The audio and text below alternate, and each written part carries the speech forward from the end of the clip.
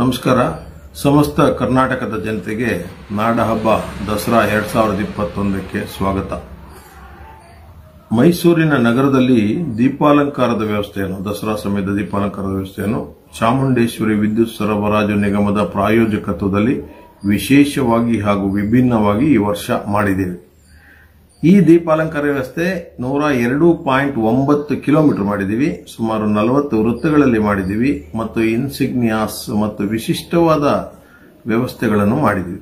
ಈ ದೀಪಾಲಂಕಾರ ಸಾಮಾನ್ಯವಾಗಿ ಆರೂವರೆಯಿಂದ ಎಂಟೂವರೆ ಪ್ರತಿ ವರ್ಷ ನಡೀತಾ ಇತ್ತು. ಈ ವರ್ಷ ಆರೂವರೆಯಿಂದ ಒಂಬತ್ತುವರೆವರೆಗೂ ಮಾಡಿ ಅಂತ ಹೇಳಿ ತೀರ್ಮಾನ ಜಿಲ್ಲಾ ಸಮಿತಿ ತಗೊಂಡಿತ್ತು. ಆದರೆ ಈ ಸಮಯದಲ್ಲಿ ಬಹಳಷ್ಟು ಟ್ರಾಫಿಕ್ ಸಮಸ್ಯೆ ಆಗ್ತಾ ಇದೆ. ಮತ್ತೆ ಒಂಬತ್ತುವರೆ ನಂತರವೂ ಸಹ ಸಹಸ್ರ ಸಹಸ್ರ ಸಂಖ್ಯೆಯಲ್ಲಿ ಜನರು ದೀಪಾಲಂಕಾರ ನೋಡೋಕೆ ಬಯಸ್ತಾ ಇದ್ದಾರೆ ಮತ್ತು ಸಮಯವನ್ನು ಹೆಚ್ಚು ಮಾಡಿ ಅಂತ ಕೇಳ್ಕೊಳ್ತಾ ಇದ್ದಾರೆ.